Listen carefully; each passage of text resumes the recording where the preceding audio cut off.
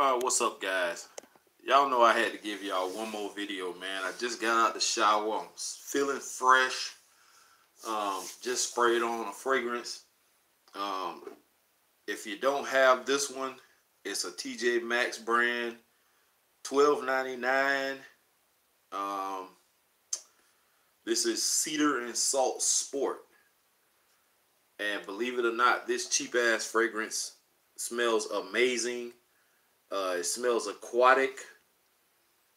You do get cedar and you get just what it says salt. Smells amazing. Um, I was so surprised when I saw this. Uh, they also have one called Fire and Tonic, in which I didn't really like too much. And I saw another one, but I can't remember the name of it. But this is the one that I like the most. So I picked this one up instead. And I'm not disappointed. Um, it smells great. Has a semi-sweet smell to it. Um, it's, it's great, guys. Trust me. Um, you find this one, do not hesitate to pick it up. And it is from a house called True Fragrance and Beauty. Um, and I guess that's who makes this fragrance. So that's what I have on right now. The fragrance I'm wanting to talk about is from my house, and which you already know is from the house of Burberry. Um, to me, it is a shame that Burberry does not get the notice that it used to. And true, um, these, if you want to call them dated, they are kind of dated. um, but this one in particular is still a great one, and it usually pops up in a lot of reviewers' uh, top 10 or honorable mention. And I love this fragrance when I first found it. Um, I fell in love with it. Powdery. It has the lasting power as far as longevity. It has great projection to me. Um, and I'm actually doing this review because of a couple of reviewers, but mainly for one that I have uh, that actually subscribed to my channel today. Um, he actually sent me a friend request on Facebook and about a day or two ago, I think, or earlier today, and I didn't respond to it because I didn't know who he was. And when I seen him in uniform, um, I'm assuming he's an officer, kind of threw me off. Uh, but he messaged me through Messenger and he said that he loves watching my channel or he likes watching my channel. Um, he likes my reviews. Um, he says the same thing you guys say that I seem genuine and um, straightforward, um, uncut and raw. Same things you you guys say. So apparently he says it also.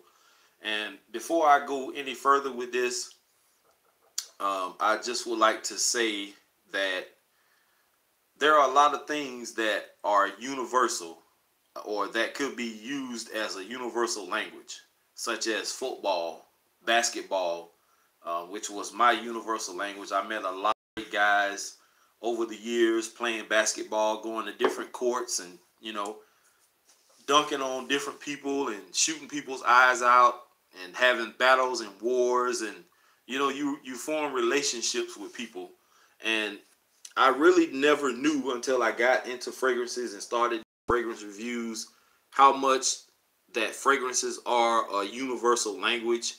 Um, i didn't realize how many people really out there love fragrances and love to talk about fragrances. And it is so amazing to me that i have met 120 or 30 some odd people as far as like uh, subscribers, um, it's amazing to me, and I appreciate each and every one of you guys. With that being said, this is for one of my new subscribers. Um, he may not be able to watch this tonight, as he said, but he said he will watch it tomorrow. And this is the video I said you may want to watch, homie, uh, because it may surprise you. He sent a picture of a smaller bottle of this that he says he's wearing tonight. So that gave me the idea to do this review. So with that being said, uh, Burberry Touch, um, it captured the electricity of a sensual connection in Burberry Touch. This musky fragrance marries rich, multifaceted wood scent, woody scents to seductive florals for a scent that is alluring yet masculine.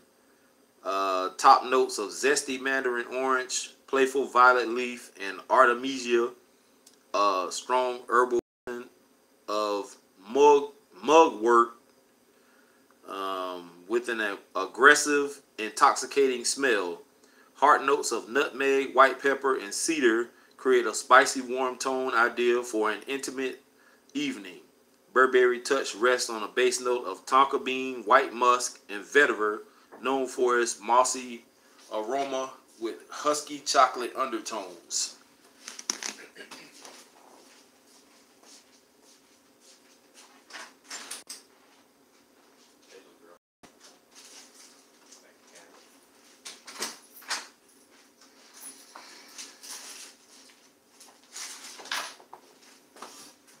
In my video?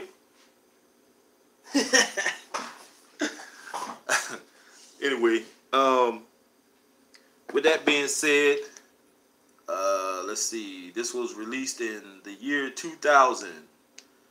Uh, with that being said, I'm gonna do this my way. If you don't have this shit, pick it up because it is very, very nice. It is crowd pleasing, nothing overpowering.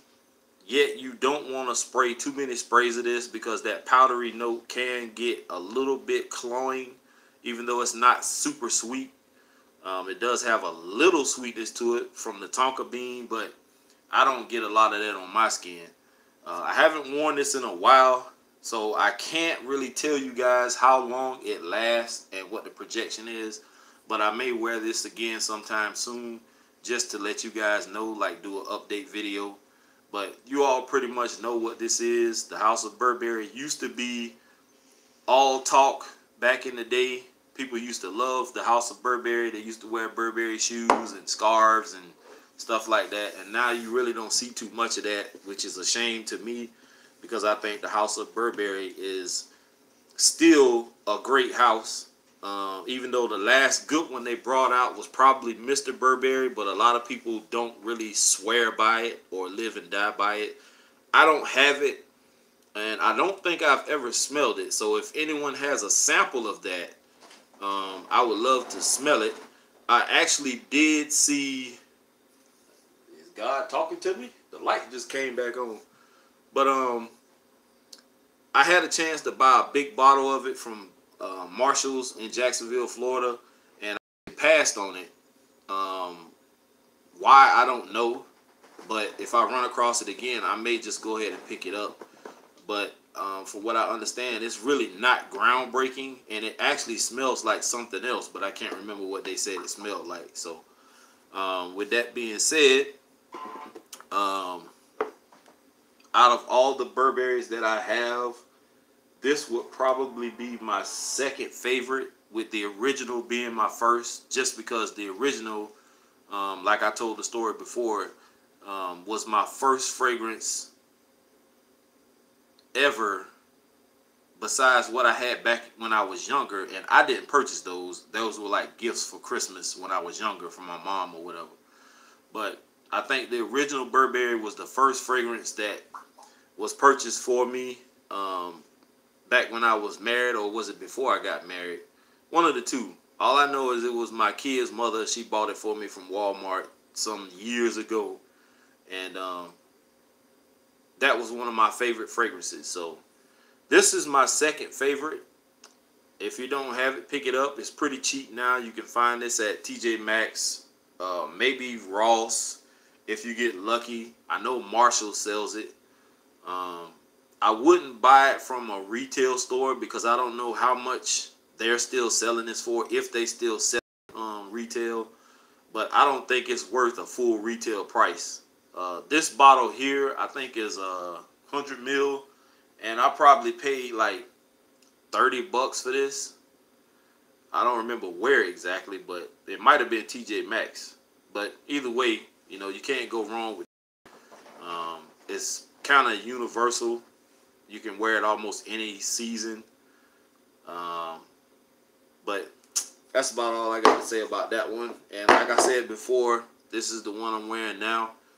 Uh, if you don't have this one from TJ Maxx, if you can find it, pick it up. It's called Cedar and Salt Sport. It's pretty damn good. Let's see what kind of comments I got before I end this video. Uh, let's see.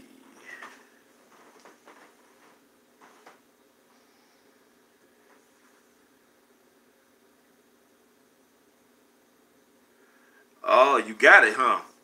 Okay, that's what's up. Uh, let's see. That made my day, man. Not many people out there would do some shit like that. It says a lot about the type of dude you are. Um, I appreciate that. Um, I know you wanted that, and like I said, it wasn't doing nothing but collecting dust on my shelf. I'm not really a big Issey Miyagi fan. Um, a lot of people talked about it. I, I, I remember uh, the rapper Twista mentioned it in one of his raps one time before. And, you know, whenever rappers speak on stuff like Louis Vuitton and Dolce and Gabbana and, you know, all kinds of fragrances, people run out and get them shits I'm not one of them type people that when I hear somebody else talk about it, I have to have it. That's not me. But being that I saw the fragrance, they were cheap enough, I just bought them. And the first one I bought was that all blue bottle, and it was okay. It's not, you know, groundbreaking. Um, for some reason, Issey Miyagi smells good. The performance at times lacks, and on my skin, it didn't do too good. So I just let them sit on the shelf uh, just to say I have it in the collection. But I'm glad you can appreciate it and hopefully you like it. I don't know if you smelled it yet, um, Cody. Um, if you did, let me know what you think in the comments down below. Um, now all I need to know is did the other package make it to where it was supposed to make it to? Apparently it didn't because he didn't say anything yet. So it is what it is.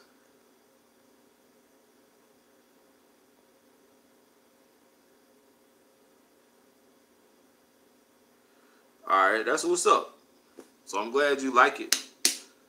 Um, with that being said, I'm gonna end this video because I got some pizza here now. I'm finna eat.